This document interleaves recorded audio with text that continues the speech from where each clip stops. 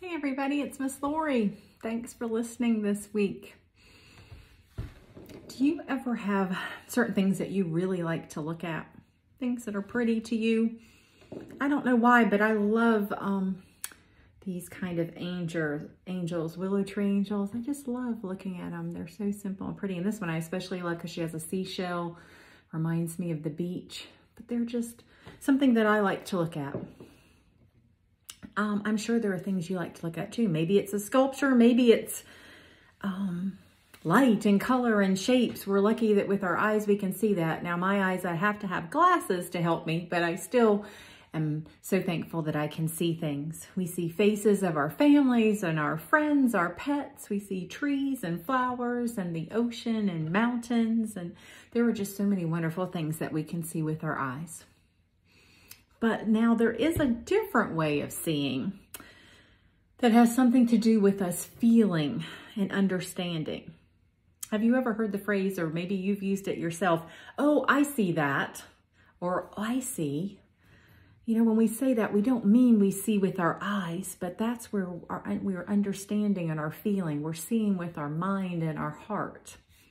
Today's Bible story is has a little bit about that kind of seeing in it.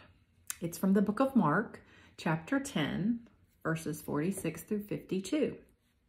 And it's about a man who was blind.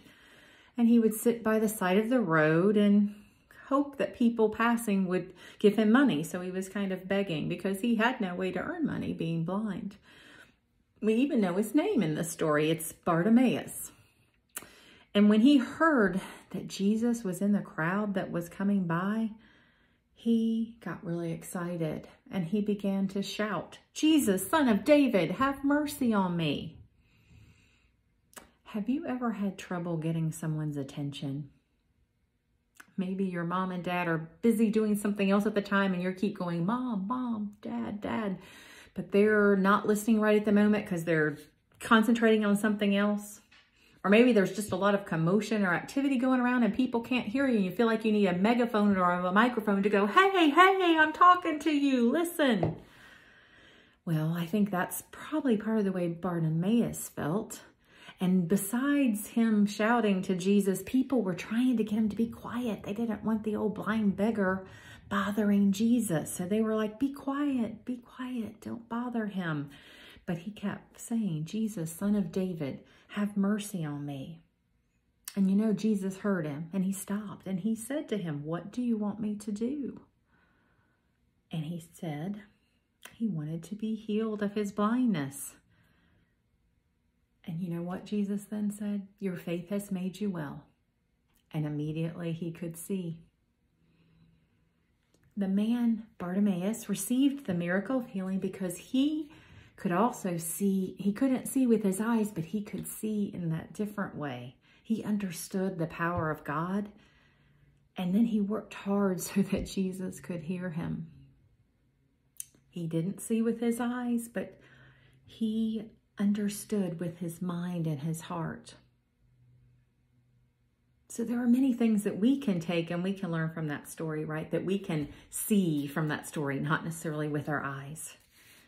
First, that was that in the midst of all the noise and activity and commotion, Jesus heard the blind man. He heard him calling out to him. And you know, Jesus, God, his Father, they hear us too when we call out, anytime, anywhere, no matter what's going on. They hear us. They are listening for us. So we need to work and make sure that we're talking to them and letting them know our thoughts, our feelings, what we need. And then the other thing is that seeing in a different way. Bartimaeus understood that. And we can too. When we, when we see in a different way, we can believe. We can understand that God loves us no matter what. And that he is with us always. So remember, let's see beautiful things with our eyes. It's wonderful and be grateful that we have the eyes that work, but also let's focus on seeing things in a different way, not with our eyes, with our minds and our hearts. And then continue to work on letting God hear us, letting Jesus hear us. and knowing that they are there ready to listen. All right, let's pray together. I'll say it and you can repeat it after me. Let's pray. Dear God, thank you for all the beautiful things we can see with our eyes, but also for all the different ways we can see and understand your goodness and love for us. Thank you for always hearing us when we speak to you. Amen. All right. Thanks for being with me. Thanks for listening and have a great week. Bye bye.